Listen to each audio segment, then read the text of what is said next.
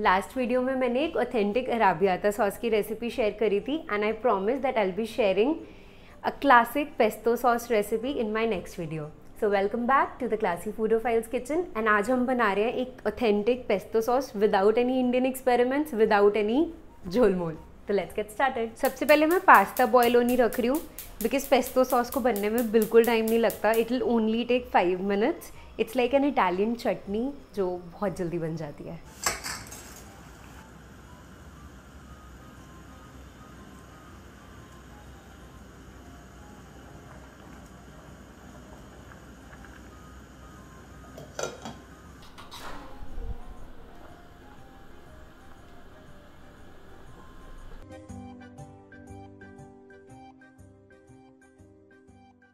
Pesto sauce बनाना easy है but you have to follow the technique very carefully अगर वो नहीं फॉलो करोगे तो थोड़ी गंदी सी पेस्तो बनेगी एंड ग्रीन पेस्तो नहीं बनेगी. तो I share some tips while sharing the recipe that will give you like a really nice pesto तो स्टार्ट करते हैं. सबसे पहले ये मैं फ्रेश बेजल लीव्स ले रही हूँ. मैंने इनको वॉश करके रखा हुआ है. इनके मैं ऊपर ऊपर के पत्ते तोड़ रही हूँ. You don't have to add stems because उससे कड़वा हो जाएगा. तो अब हम पेस्तो बनाना शुरू करते हैं। सबसे पहले मैं एक फ़ूड प्रोसेसर में ऑलिव ऑयल डाल रही हूँ थोड़ा सा अभी और डलेगा बट पहले हम स्टार्ट कर रहे हैं थोड़े से ऑलिव ऑयल से। Approximately two tablespoon of oil डाल रही हूँ मैं। अब जो ऑथेंटिक पेस्तो होती है, वो पेसल एंड मोटर में बनती है।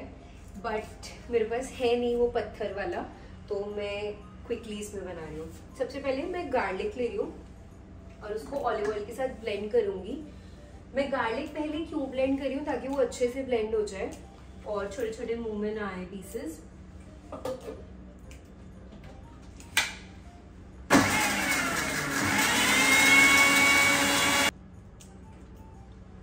ऑयल में गार्लिक अच्छे से ब्लेंड हो चुका है। ऑथेंटिक पेस्तो में काफ़ी लोग पाइन नट्स यूज़ करते हैं बट पाइन नट्स काफ़ी एक्सपेंसिव होते हैं अप्रोक्सीमेटली दस हज़ार पर केजी तो मैंने तो नहीं मंगाए मैं आज वॉलनट से काम चला रही हूँ। आप पिस्ता यूज़ कर सकते हो आमंड यूज़ कर, कर सकते हो कैशूज यूज़ कर सकते हो। पाइन नट्स के साथ बहुत अच्छा फ्लेवर आता है to be very honest I tried it but based on availability you can use any nut थोड़े से हैंडफुल ऑफ़ नट्स डालेंगे इसमें। फिर इसको दोबारा ब्लेंड कर लेंगे।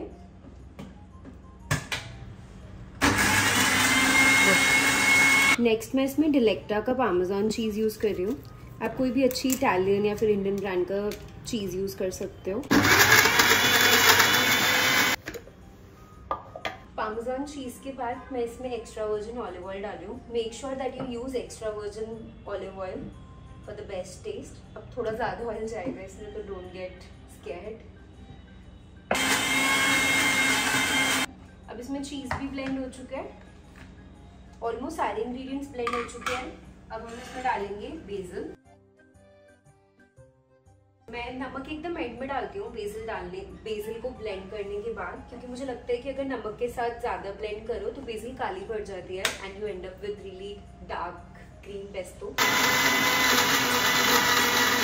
चलो जी final step we'll season it with some salt black pepper is completely optional I like to avoid it because जो बेसिल से पंजेंसी आती है ना I like to enjoy that alone आपको ब्लैक पेपर पसंद पसंद हो तो आप डाल सकते हो।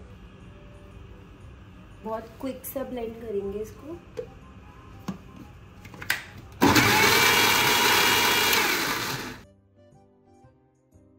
हमारी पेस्तो सॉस बन चुकी है एंड पास्ता ऑलमोस्ट बॉईल होने वाली है। तब तक मैं एक गार्लिक बटर बना रही हूँ। एंड ये ब्रेड मैंने घर पे बनाई है। इसके ऊपर हम गार्लिक बटर लगा के इसको अच्छे से रोस्ट करेंगे and then we'll serve it with the pesto pasta butter में मैं पार्सले फ्रेशली चॉप्ड और फ्रेशली चॉप्ड गार्लिक डाल रही हूँ। थोड़ा सा सॉल्ट डालूँगी। You can also add some pepper to it if you wish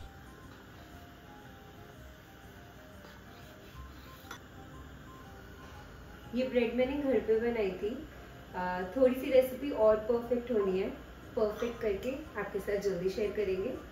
तब तक गार्लिक ब्रेड बना लेते हैं।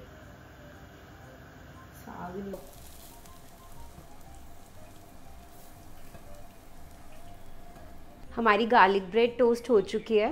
पास्ता कुक हो चुका है। इसको स्ट्रेन कर लेते हैं quickly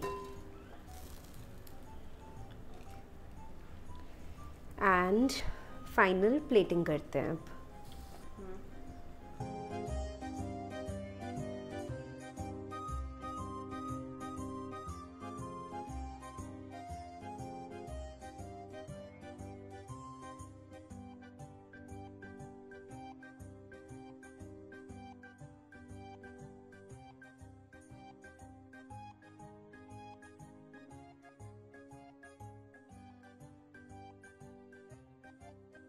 Our pesto sauce pasta is ready. I'm going to finish it with some more parmesan cheese because there's nothing like too much cheese.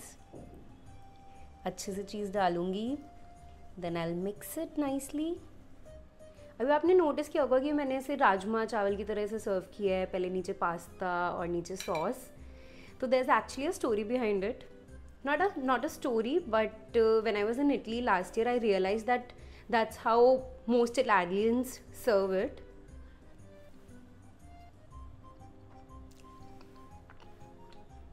this is actually so good by the way मुझे उम्मीद नहीं थी Indian basal से कि इतनी अच्छी pesto बनेगी this is actually turned out really nice if you like this video don't forget to like subscribe comment share and hit that bell icon i'll see you in the next video and we'll make some alfredo sauce pasta bye